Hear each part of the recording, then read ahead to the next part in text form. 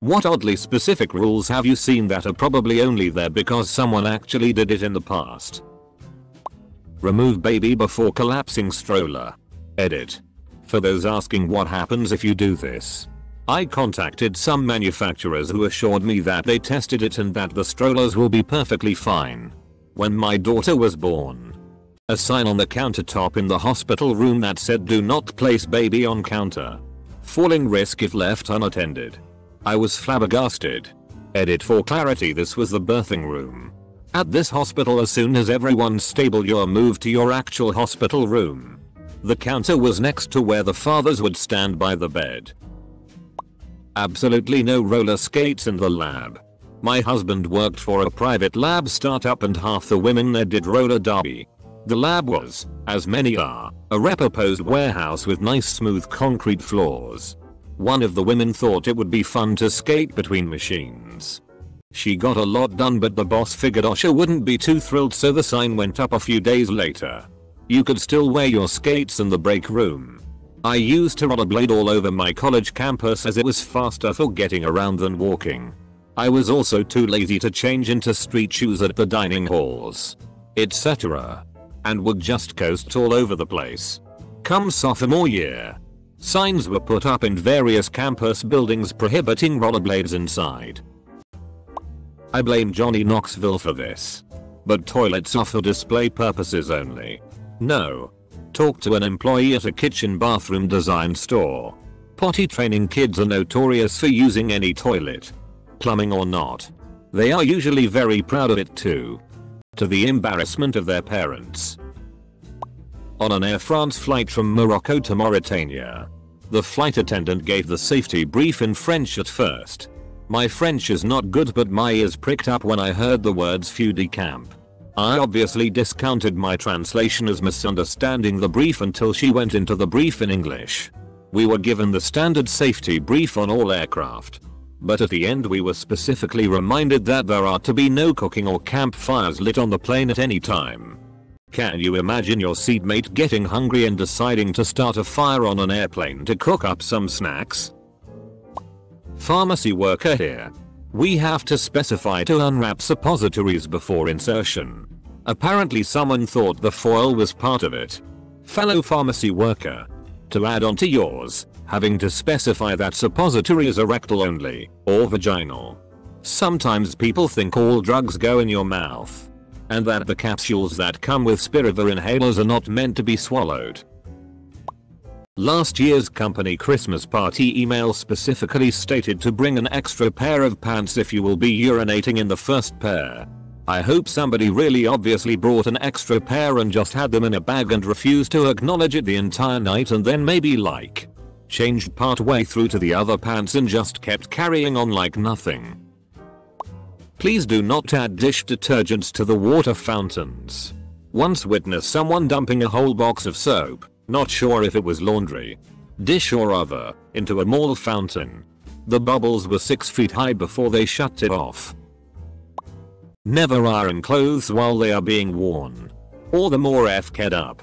Do not use for drying pets on the microwave. Yo I've heard stories that when microwaves were fairly new people thought of them like a toaster and would put small pets inside to dry them off. With explosive results. The real story behind the microwave thing comes from an old lady that was still using all old appliances in her house and her son wanted her to upgrade a little since she was getting older and she was still doing all the chores and cooking manually. This was taking a lot of time and she would spend hours cooking stuff on her old stove. One thing I liked about her stove was that she could open the door, put heat to the minimum and dry her little dog on the door and that would leave nice curls and shine to the dog hair. Now I'm pretty sure you're seeing where this is going. Her son decided to buy her a microwave. He told his mother that this would help her cook and reheat a lot faster and it does pretty much everything her stove does but within minutes instead of hours. So she ended up washing her little dog and then put it in the microwave and yeah the dog died horribly. And this is basically why that sticker is there. In my lease, I had a clause to properly dispose of my used tampons. I asked why and apparently my landlord had a tenant that caused $50. 000 of damage because she threw her used tampons into the cabinet under the sink. She rented the apartment for years and there were 3 plus years worth of used bloody tampons in there. The uh, blood caused a bunch of damage akin to water damage to the bathroom. The floor under the cabinet was rotted through. From bloody tampon storage. The thought of a steamy, gelatinous glob of blood gooping through the shitty linoleum and blooming a bloody clicker from The Last of Us makes me want to actively die. Don't take prescription drug if you're allergic to same drug. Double quote. That one always cracks me up. In the same vein. I love when possible side effects are the exact thing the meds are supposed to help. Like anti-nausea medicine making you nauseous. Since COVID and things going digital, we now have a you must wear clothes rule. And we already had a pretty casual dress code. The Zoom virtual background is nice. But it really needs a virtual shirt option. No rings on ship decks. They can get caught and deglove your finger. Which is exactly as horrid as it sounds. In rehab our cotton swabs were taken away because a guy decided to jam one into his eardrum to get sent to the hospital and get painkillers. Every seemingly dumb rule we had in there had a backstory to it. Oofed. Used to work in a prison. And they had to ban Marmite spread. Because the inmates used the yeast to ferment alcohol. And Kit Kats. Because they used the foil wrappers for heroin. When I worked at a warehouse, I was told that we can't ride pallet jacks like scooters. PSHHH stupid safety. I worked at a warehouse that had those and found out one of them had a turbo button on it. I got to work the late shift a few times where there was literally two people, including me, working and you're goddamn right I drove that thing around like a go-kart. I had the same biology professor for bio-I and II. Because of me. The bio-II PowerPoint included a new excuse that wouldn't be accepted for missing late work. My drunk roommates threw it out while cleaning. Double quote. Similar thing happened to my dad when he used to work at a shipyard. Their rules were you hard steel toe shoes or shoes with a wide enough gap between the tip of your foot and the tip of the shoe. He wore clown shoes. Every time the yard hired a new person, they were strictly enforced to never wear clown shoes. In Florida you may not have sexual relations with a porcupine. In Illinois it is illegal to go fishing on a giraffe's head. Do not put 14 rolls of toilet paper in the toilet Walmart 2019 for my fellow scientists. Transferring chemicals by mouth, mouth pipetting, is forbidden. Edit. While this unexpectedly blew up, it's nice to see our science community active in a sub that isn't science related. Stay safe my fellow lab mates and make sure to always label your glassware. They just updated a policy at my work recently that had that rule in it. It said there is an appropriate pipette available for every task IO.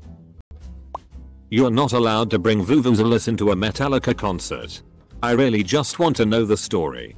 You are not allowed to bring Vuvuzela into any large gatherings. The thing is annoying. Do not dress game. E. G.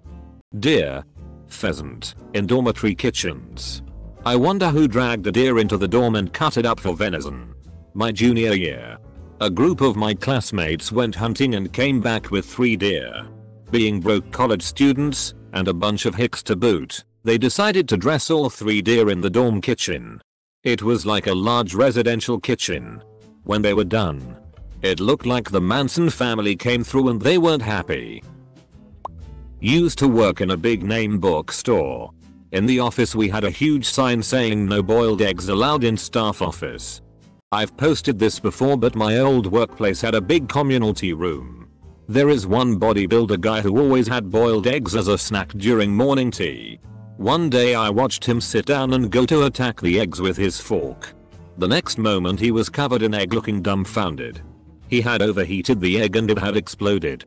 This might be more about the danger of over microwaved eggs exploding and burning someone rather than the smell. There was this one residence hall on campus where we had to inform students on move-in day not to twist their room key a certain way into their bathroom door otherwise they could possibly get locked and if closed. They were encouraged just to use the inner lock bolt body system. Students got charged $5 after one free pass. If a staff member got a call and had to rescue them from trapping themselves in their own bathroom. Working in that hall for 2 years. I rescued students 7 times and 4 of those times it was the same girl. The 10 pin bowling alley in Geelong implemented a patrons must not play blindfolded rule. The manager claims it was for safety reasons. But I will always know in my heart it was solely because I beat him 3 games in a row wearing a blindfold.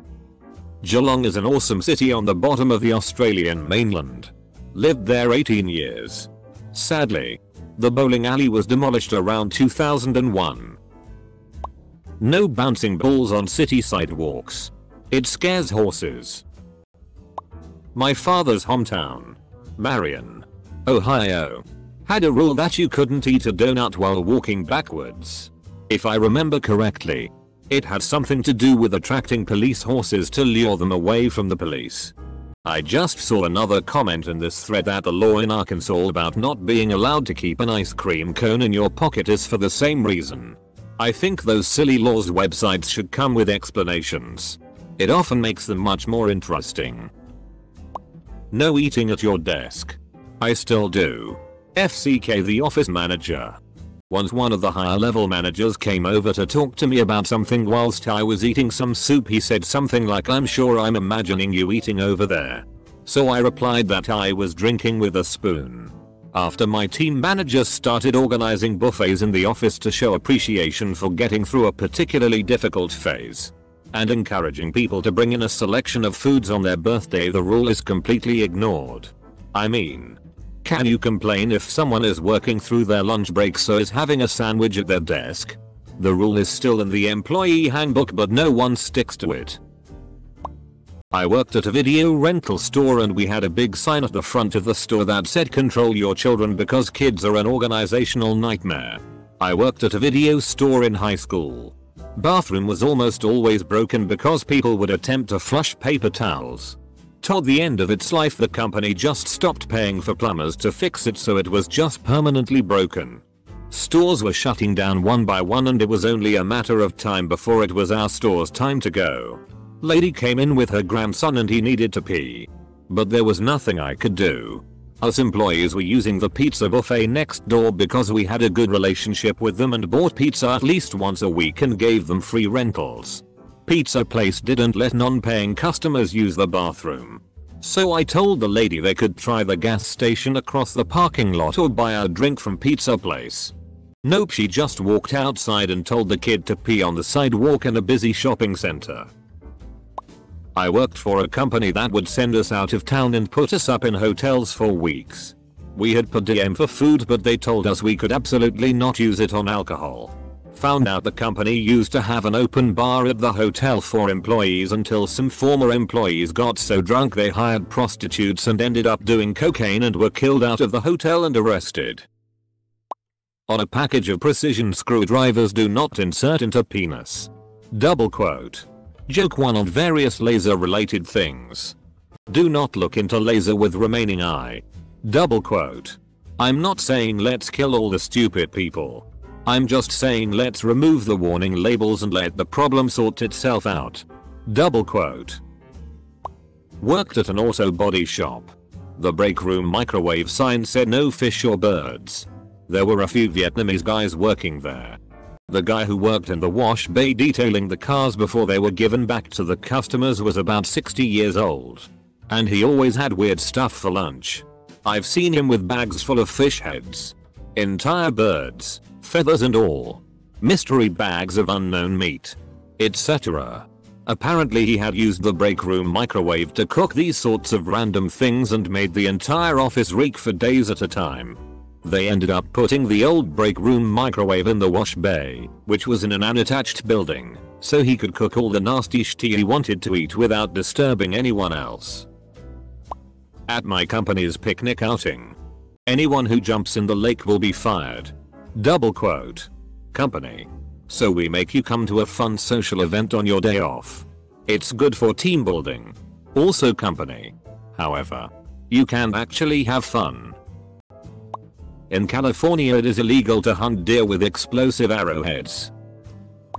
Signs that say no shitting on the floor in a public place. I've never done it. But I do put those signs up in public restrooms when I get the chance. Wish I had a picture but in every restroom stall at my work there is a sign that says 3 courtesy flush flush once to prepare for elimination flush between the go and the paper flush upon completion. Wonder who put that together in their head and said I have a solution. Hear me out guys. I live in student accommodation. On the back of the bathroom door there are diagrams of the right and wrong ways to sit on the toilet. International students from countries that only have squats is the reason. They would stand on the toilet seat them squat over the bowl. Some universities put a few squat toilets in for this reason. If you've had diarrhea in the last 48 hours, please do not enter the pool water. Com a real sign I saw at the pool of my in LA a few years back. Edit. It may be common, I've never seen it here in the east coast. But still oddly specific. It gets worse. That's a state mandated posting for public pools in California. It was so bad they said okay, all pools need to include this sign. A fairly small apartment complex pool, indoors, that had a sign reading. No running, no diving, no smoking, no kayaks. In church. There was a sign above the votive candles that read. Light only one candle $7 each. Double quote. Apparently. For $7. Someone had lighted all 50 votive candles in the stand. At my last job. We had a sign on the back door that said you must walk trash all the way to the dumpster. Do not train the raccoons. Double quote. The story behind that is the facility I worked at does dog daycare and training. And Darcy the human, not to be confused with Darcy the poodle, didn't like having to walk all the way across the parking lot at the end of the night to take out the trash and trained about 3 raccoons to drag the bags to the dumpster because he couldn't be bothered to walk 50 feet to it. He got away with it for about a year. And even named them. The manager only found out when she opened the back door to throw out some boxes and saw a bunch of raccoons immediately run up and cart them off. If the water between Denmark and Sweden freezes, and the Swedes walk over we, the Danes, are allowed to hit them with sticks, I had an English teacher that had an ironclad rule about no one touching her classroom door except for her. Rumor is that some kids superglued her classroom door shut a few years ago. This led to some of my classmates rubbing themselves all over the door when she was absent for a day and when she went on maternity leave. I work in healthcare. Having a personal relationship with your client is a big one. We had a caregiver marry a client's spouse. I go over professional boundaries during orientations at least 10 times. I trained home hospice carers and had to put in a do not smoke marijuana or give edibles to clients section. Living in a state where it's legal does not mean you, as a care provider, are allowed to share. Worked at a call center. As it was moving towards shutting down they weirdly got super stringent about rules.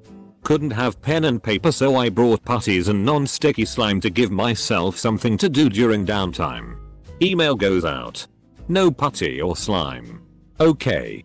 I'll finally learn to crochet. Bring in yarn and needles. Email goes out. No crochet or knitting. Fine. I'll write as a hobby so I'll type up some blurbs on Word. Maybe make an annoying customer bingo sheet on Excel. Email goes out. No longer allowed to use Word or Excel. Every email was sent like a week or less after I started doing the thing. With the exception of the putty. Timeline made sense to me and my friends. Kinda. But I'm sure for everyone else in the call center they were bewildered as fuck. Curling iron instructions. Do not use while sleeping. We have a no fireworks policy at my work.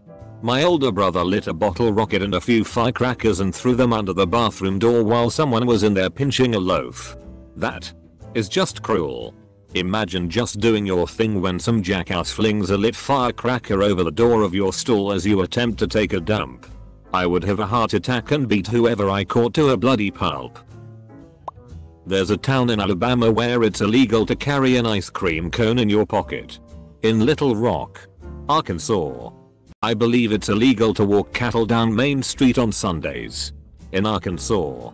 It's also illegal to keep an alligator in your bathtub. I work as a counselor at a Boy Scout camp that happens to have coconut trees. One of the rules I have to read to the scouts is do not take a coconut and stick it between your legs and try to stab it with your pocket knife. This is because at least one kid some time ago did this resulting in an emergency hospital trip. In a supermarket. By the cherry display. For the safety of employees and customers. Please do not discard cherry pits on the floor. Double quote couldn't figure out why it didn't just say please don't eat the cherries but I'm sure there's an injury lawsuit involved. This is not food label. On plastic fruit. This product is not to be eaten. On the little silicon filled PKGS. You get.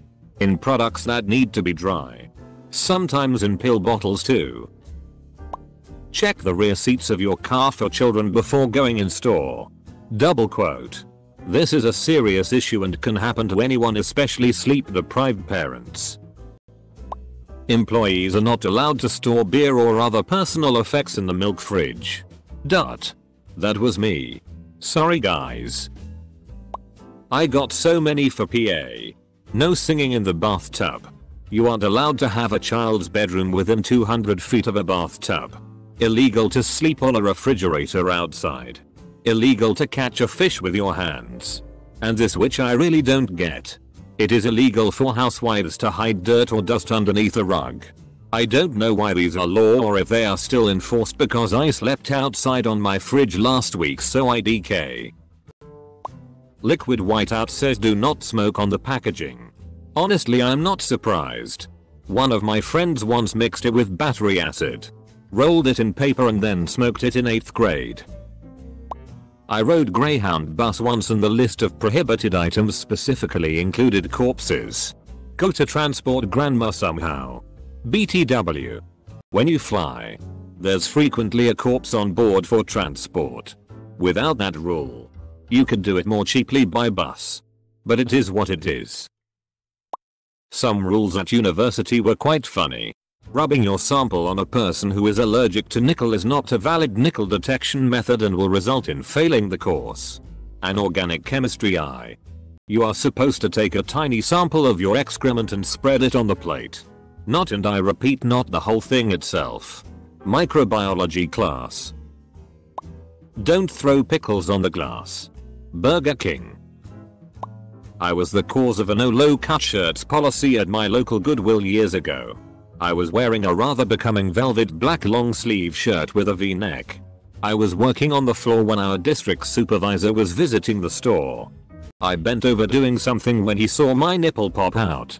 The next week the policy was announced and nobody told me about it for over 2 months. I I.